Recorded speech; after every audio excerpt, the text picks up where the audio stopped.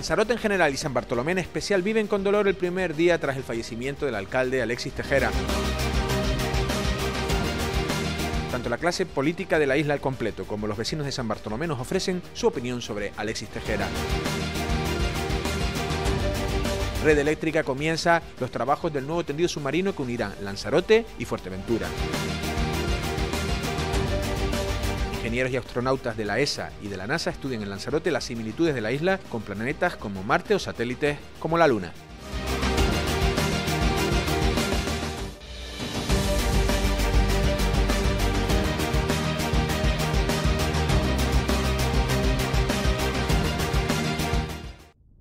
Lanzarote entera, pero especialmente San Bartolomé mostraba hoy un estado de vacío, un estado de shock ante la pérdida de Alexis Tejera, un joven pero maduro político que se convertía hace dos años en alcalde de esta localidad con una contundente mayoría absoluta. Hemos rebuscado en nuestra hemeroteca y hemos encontrado su primera aparición televisiva en el programa Factor Común que dirigía Tomás López y donde se abordaban temas de actualidad, como en este caso el turismo. Yo, evidentemente, el modelo no puede cambiarse de manera drástica e inmediata, es decir, eh, bueno, tiene que ser de manera progresiva. El sector del turismo eh, tiene un peso fundamental en la economía de la isla, de Canarias y de bueno, muchísimas partes de España, comunidades autónomas. Por lo tanto, habría que hacer una reflexión profunda entre, eh, entre la sociedad, qué es lo que quiere, y el grupo empresarial que lleva todo este tipo de instalaciones hoteleras. Fueron numerosas sus participaciones en la entrevista del día, donde siempre dio la cara, protegiendo en un principio como concejal a su máxima valedora, Dolores Corujo, y luego al frente de la alcaldía. Sin embargo, se agradecía su aparición en programas alternativos, como este de Plano contra Plano, donde no mostró problemas para hablar sobre cine y sus películas favoritas. Muchas gracias por por la invitación y gracias por no hablar de política, ¿no? sí, verdad que de vez en cuando se agradece, ¿no? Se agradece mucho, mucho, mucho. De hecho, viene uno aquí completamente relajado, distendido y hablar de algo que, que, que a mí por lo menos me apasiona y que, y que, y que, rompe la rutina de lo que son la, es la relación de, con los medios que tengo. Su última intervención en el plató de Lancelot Televisión fue el 28 de julio de este año, cuando acudía a Café de Periodistas, todavía en formato COVID, y donde ya empezaba a mostrar algunos efectos de la enfermedad que le acabaría quitando la vida. Hombre, démonos cuenta de que el último año ha sido un año marcado por la pandemia, como posiblemente te habrán dicho todos los alcaldes y alcaldesas de esta isla. Eh, un año complicado donde hemos tenido que tomar decisiones eh, bajo la incertidumbre de todo lo que nos venía encima, tomando decisiones complicadas en materia de prohibiciones, que es lo que menos gusta a la población, pero necesarias para controlar toda esta pandemia. Lancelot Televisión, al igual que toda la isla, quiere rendir un pequeño homenaje a un gran alcalde y mejor persona, sin olvidar el pésame a su mujer, hijos, familiares y seres queridos. Nos despedimos con este homenaje que sus compañeros del PSOE en San Bartolomé colgaban ayer en las redes sociales. When the cold is gone. I wish I could believe trying hard when the land is gone.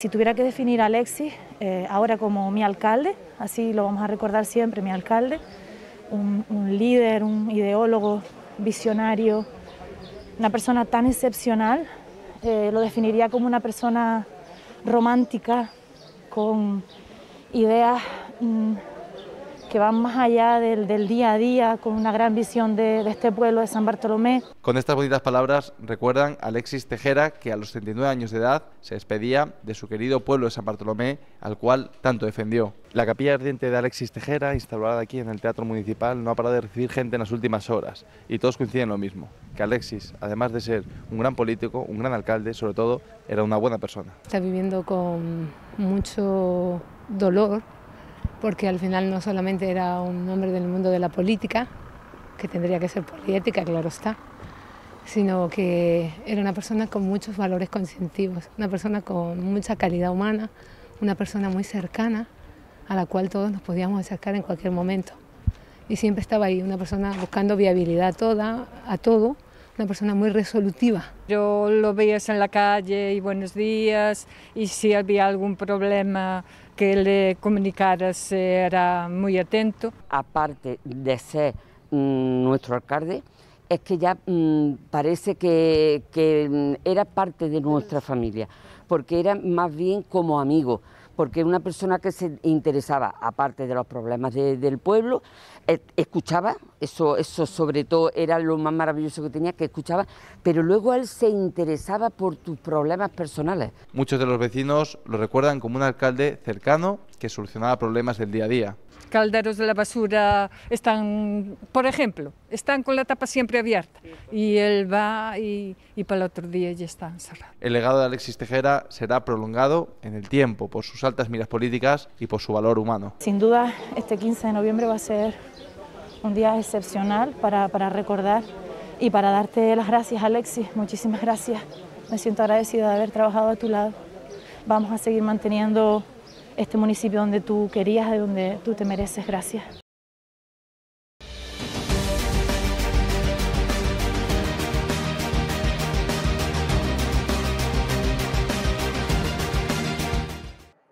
Para comprender la carrera política de Alexis Tejera es importante conocer sus inquietudes de juventud, en una época en la que apenas llegaba a la mayoría de edad, pero que ya se interesaba por los temas de actualidad. Así lo recuerda Marcial Martín, que en el año 1999 era por aquel entonces el alcalde de San Bartolomé. Me preguntaba que qué era el socialismo.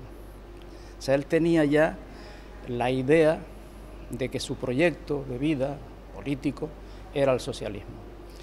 Yo no sé si yo contribuí a que Alexis eligiera, en este caso, un proyecto político como el socialista, pero de cualquier forma, en cualquier otro proyecto, era una persona muy, muy querida, una persona con un proyecto, una persona que tenía una vitalidad como hombre. Y yo creo que sirvió a la gente en estos solo dos años que estuvo como alcalde y cuatro años anteriores como concejal, sirvió a la gente y la gente se lo ha reconocido.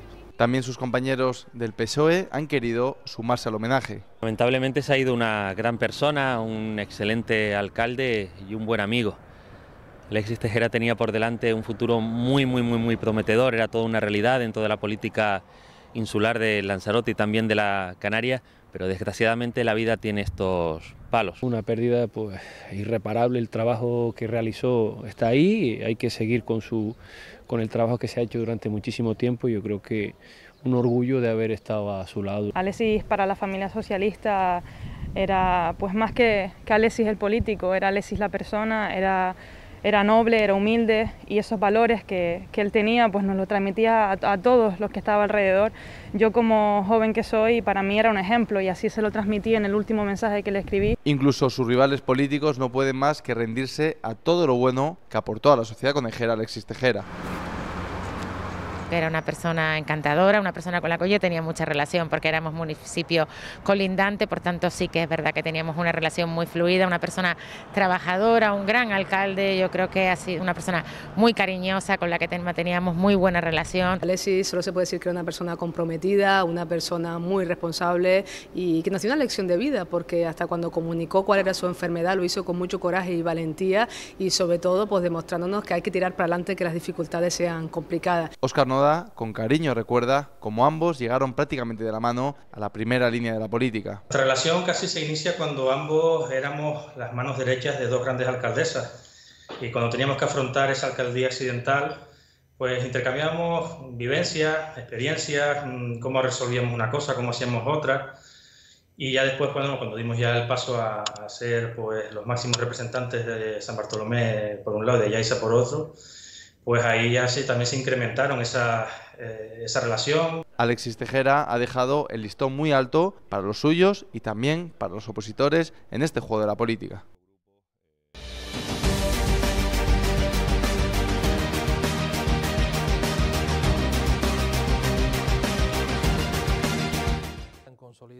Antonio Rocío, como primer teniente de alcalde de San Bartolomé, es el que asume de manera provisional la alcaldía del citado municipio hasta que se elija en pleno al nuevo y máximo regidor. Rocío será la persona que en el plazo de 10 días hábiles, que en este caso terminaría el sábado 27, deberá convocar el pleno para la elección del nuevo alcalde en sustitución del fallecido Alexis Tejera, según indica el ROF en su artículo 40.5. En este pleno serán candidatos todos aquellos que encabecen sus correspondientes listas y siendo elegido como alcalde aquel que obtenga la mayoría absoluta de los votos, nueve en el caso de San Bartolomé. En el supuesto de que nadie obtenga la mayoría absoluta, sería proclamado alcalde en ese pleno el candidato del partido de la lista más votada en las elecciones, que fue el Partido Socialista. Lo cierto es que, dado el gran equipo con el que se rodeó Alexis Tejera, señalan que cualquiera de ellos pudiera optar a convertirse en nuevo alcalde. Desde Antonio Rocío, el hombre con más ascendencia en el grupo municipal y secretario general del PSOE de San Bartolomé, pasando por Marlene Romero, Raúl de León, Isidro Pérez, María de los Dolores Fernández y el resto de los concejales. María de los Dolores Fernández inicialmente la que sigue en la lista Alexis Tejera, pero puede renunciar a ser la candidata a la alcaldía si así lo decidiera el partido.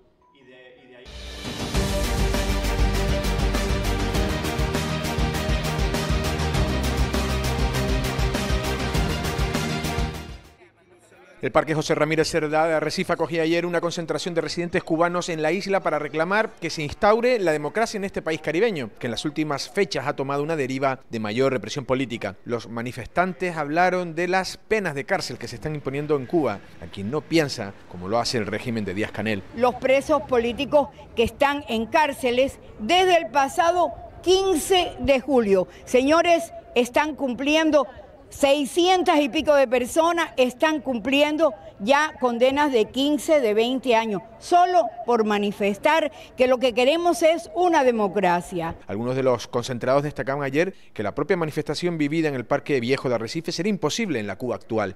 Constituye esto, el hecho de estar aquí con agentes de la policía velando por la tranquilidad de esta actividad, lo que realmente en Cuba es imposible. Y esta situación, la de hoy, de este instante, aquí en Cuba, hubiera implicado que esos agentes de la policía estuvieran desenfundando su bastoncito, nos hubieran estado entrando a, a bastonazo y montándonos no un coche patrulla, porque ya no cabríamos, como lo hacen habitualmente, en un camión o en una guagua. Otros de los congregados hablaban de la experiencia personal de familiares que han tenido que salir de Cuba ante la represión. Un tío de aquí se fue a, a Cuba y entonces allí tuvo tres niños, tres hijos, y tuvieron... Ah, como yo, ¿eh? Y entonces tuvieron que irse ya hace ya un par de años, ya, que se fueron uno a Miami y otro a Estados Unidos, y, y sin decir nada, porque si no, pasaba algo. Destacar que entre los presentes estaban altos cargos del Partido Popular de Lanzarote, como la alcaldesa Recife y presidenta del PP, Astrid Pérez, al igual que también se vio cierta representación de Vox.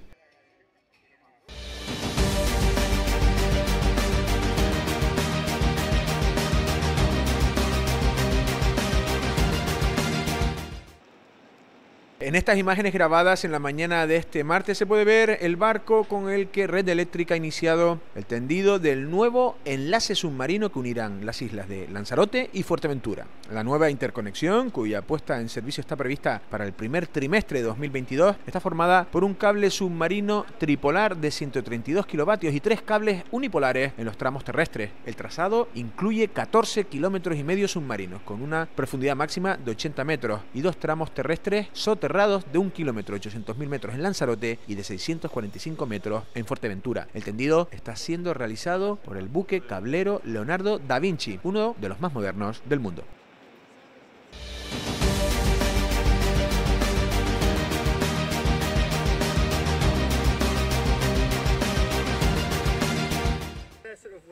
Este es el momento en el que ingenieros y astronautas de la Agencia Espacial Europea y de la NASA explicaban en las inmediaciones del volcán del Cuervo las líneas maestras de Pangaea, un programa que permite que los profesionales del Organismo Espacial Europeo celebren sus sesiones teóricas y prácticas en Lanzarote. Las peculiaridades geológicas y biológicas de la isla y el buen estado del vulcanismo de origen basáltico permite a la ESA recrear situaciones semejantes a las que encontrarán los astronautas, ingenieros, geólogos y científicos en sus misiones en el espacio exterior y al mismo tiempo testear el equipo instrumental técnico que emplea en sus viajes espaciales. En su camino hacia la Luna y Marte, Pangaea 2021 incluye además el muestreo de rocas y minerales secundarios asociados de colonias microbianas y el registro de datos ambientales.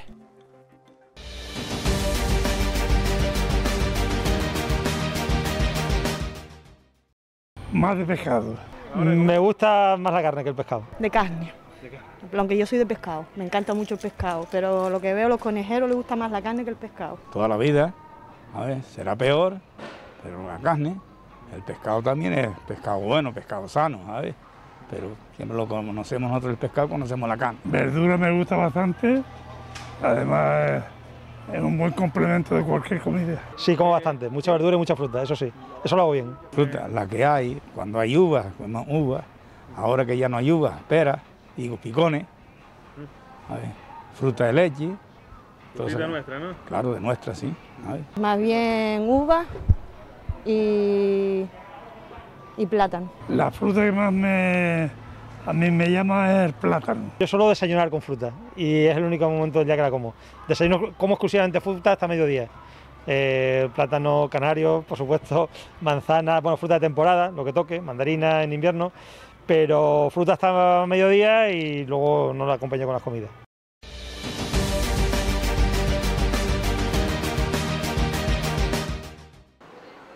Esta televisión que vende en imágenes puede ser suya de una manera muy sencilla. Conforama sorteará desde hoy hasta el viernes 26 de noviembre una televisión de 55 pulgadas que cuenta con la más destacada tecnología. La televisión que vamos a sortear aquí en Conforama es de la marca TCL, tiene 55 pulgadas, 4K, Smart HDR, Dolby Audio, Android TV y Hey Google. Es la última tecnología ahora mismo que tiene Google. En esa misma fecha, que coincide con el Black Friday, el equipo de profesionales de Lancelot Medios se desplazará hasta las instalaciones de Conforama, situadas en el polígono industrial de Playa Honda, para realizar un programa radiofónico a partir de las 12 de la mañana a través de Lancelot Radio, en donde se dará a conocer el ganador. Conforama ya se prepara para las Navidades y qué mejor manera de celebrarlo que con esta televisión sorteada. Es muy fácil optar al premio, solo tienen que dirigirse a www.lancelotdigital.com y rellenar un simple formulario y automáticamente ya serían participantes activos en este sorteo. Informática Lanzarote, todo para su oficina, material de trabajo, mobiliario, ofimática, consumibles, impresoras, fotocopiadoras, purificadores de aire. Informática Lanzarote, asesoramiento profesional para tu empresa. Infórmate en nuestras tiendas de Arrecife, Playa Blanca o Corralejo. Informática Lanzarote, contigo más.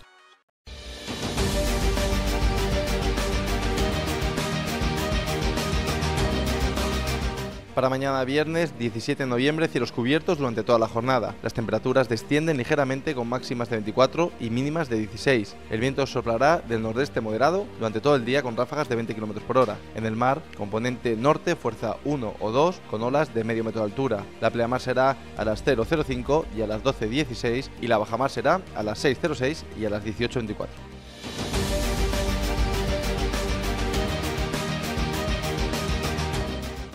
En Iberdrola queremos ser tu opción. Por eso hemos abierto un punto de atención cerca de tu casa, en la calle Donante de Sangre número 24 en Arrecife, con atención personalizada y las mejores ofertas. Tú decides tu cuota. Contrata el plan Iberdrola y te aplicamos un descuento de hasta el 18% en el término energía durante 12 meses. Queremos ser tu opción. Informática Lanzarote. Lanzarote en general y San Bartolomé en especial viven con dolor el primer día tras el fallecimiento del alcalde Alexis Tejera. La clase política de la isla al completo como los vecinos de San Bartolomé nos ofrecen su opinión sobre Alexis Tejera. Red Eléctrica comienza los trabajos del nuevo tendido submarino que unirá Lanzarote y Fuerteventura. Ingenieros y astronautas de la ESA y de la NASA estudian en Lanzarote las similitudes de la isla con planetas como Marte o satélites como la Luna.